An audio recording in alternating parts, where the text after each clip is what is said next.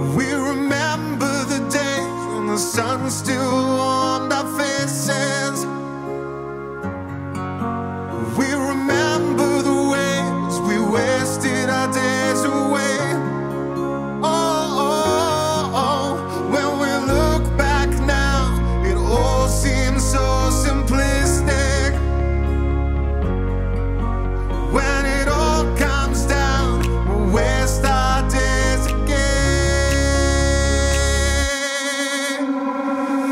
you